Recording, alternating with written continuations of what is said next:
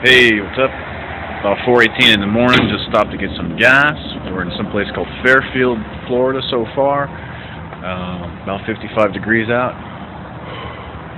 I don't know if you can see any smoke or not, but that's what we've got. And uh, talk to you guys again soon. Bye.